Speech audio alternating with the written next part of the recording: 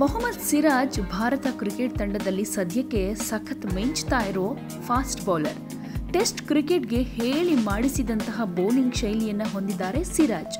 ಇವರು ಆಡಿರೋ ಕೆಲವೇ ಪಂದ್ಯಗಳಲ್ಲಿ ತಮ್ಮ ಸಾಮರ್ಥ್ಯ ಏನು ಅನ್ನೋದನ್ನ ಸಾಬೀತುಪಡಿಸಿದ್ದಾರೆ.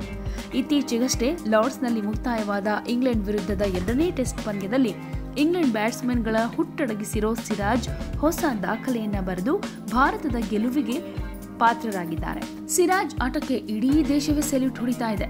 ಹೀಗಿರುವಾಗ ಪಾಕಿಸ್ತಾನದ ಪತ್ರಕರ್ತೆ ಜೈನಬ್ ಅಬ್ಬಾಸ್ ಕೂಡ ಸಿರಾಜ್ ಆಟಕ್ಕೆ ಮನ ಸೋತಿದ್ದಾರೆ.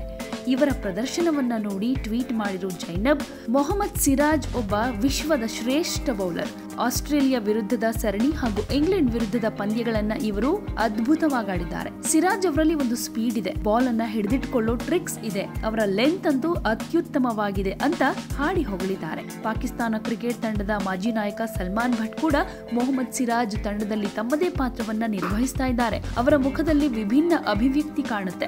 ಎದುರಾಳಿ ಬ್ಯಾಟ್ಸ್ಮನ್ ಸಿರಾಜ್ ಕಡೆ ನೋಡಿದ್ರೆ ಅದಕ್ಕೆ ತಕ್ಕ ಹಾಗೆ ಟೀಂ ಇಂಡಿಯಾ ವೇಗಿ ಪ್ರತ್ಯುತ್ತರ ಕೊಡ್ತಾರೆ. ನನ್ನ ಪ್ರಕಾರ ಸಿರಾಜ್ ಅವರ ಆಕ್ರಮಣಶೀಲತೆ ಟೆಸ್ಟ್ ಕ್ರಿಕೆಟ್ಗೆ ಹೆಚ್ಚು ನೆರವಾಗುತ್ತೆ ಅಂತ ಹೇಳಿದ್ದಾರೆ.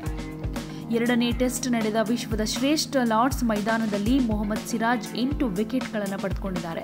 ಹೀಗಾಗಿ ಲಾರ್ಡ್ಸ್ ಅಂಗಳದಲ್ಲಿ ನಡೆದ ಪಂದ್ಯವೊಂದರಲ್ಲಿ ಎಂಟು ವಿಕೆಟ್ ಪಡೆದ ಮೊಹಮ್ಮದ್ ಸಿರಾಜ್ ಸಾವಿರದ ಒಂಬೈನೂರ ಎಂಬತ್ತೆರಡರಲ್ಲಿ ಕಪಿಲ್ ದೇವ್ ಮಾಡಿದ್ದ ದಾಖಲೆಯನ್ನು ಸರಿದೂಗಿಸಿಕೊಂಡ್ರು. ಲಾರ್ಡ್ಸ್ ಕ್ರೀಡಾಂಗಣದಲ್ಲಿ ನಡೆದ ಟೆಸ್ಟ್ ಪಂದ್ಯದಲ್ಲಿ ಎಂಟು ವಿಕೆಟ್ ಪಡೆದ ಇಬ್ಬರು ಭಾರತೀಯರು ಅನ್ನೋ ದಾಖಲೆ ಕಪಿಲ್ ದೇವ್ ಹಾಗೂ ಸಿರಾಜ್ ಹೆಸರಲ್ಲಿದೆ.